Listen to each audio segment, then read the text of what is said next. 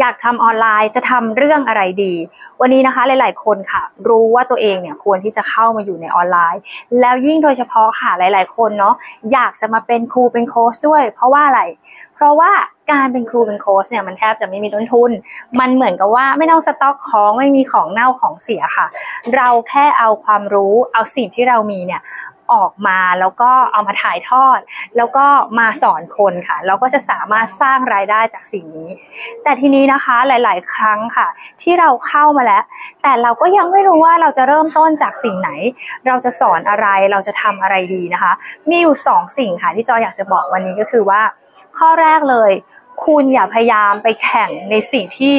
เราไม่ได้เป็นเจ้าสนามค่ะ เป็นต้นว่าวันนี้นะคะ คุณเป็นคนที่ เก่งในเรื่องของกระโดดไกลค่ะคุณกระโดดไกลเก่งค่ะ แต่ว่าคุณดันไปแข่งวิ่งค่ะช่วยถามเลยว่า การที่คุณทำแบบนี้คุณจะสามารถเอาชนะนัก วิ่งทีมชาติได้หรือเปล่า มันแทบจะเป็นไปไม่ได้เลย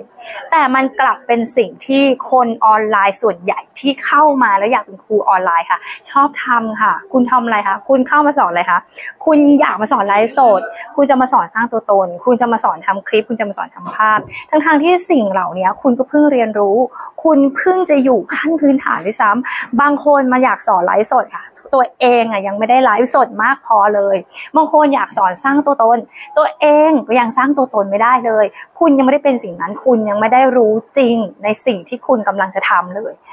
เวลาที่คุณค่ะไม่ได้แข่งในลูกตัวเอง แต่คุณไปแข่งในสิ่งที่มันมีเจ้าตลาด มันมีคนที่แข่งที่เก่งกว่าคุณเยอะแยะมากมายนะจะถามเลยว่าโอกาสที่เราจะชนะนะมันมีมันมีไหมคะมันมีน้อยมากเลยจริงไหมนอกจากไหมคะคนที่เขาเป็นเจ้าเจ้าตลาดเขาทำลายเขาท้องเสียหรือเปล่าอะทีนี้เราทำยังไงล่ะคะ วิธีการค่ะที่จะทำให้เราเนาะอยู่ ในลูกของเรา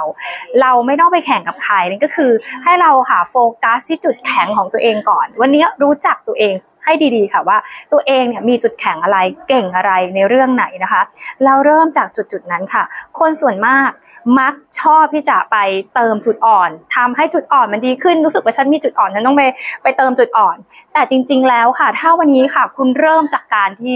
ทำให้จุดแข็งมันแข็งมากขึ้นค่ะ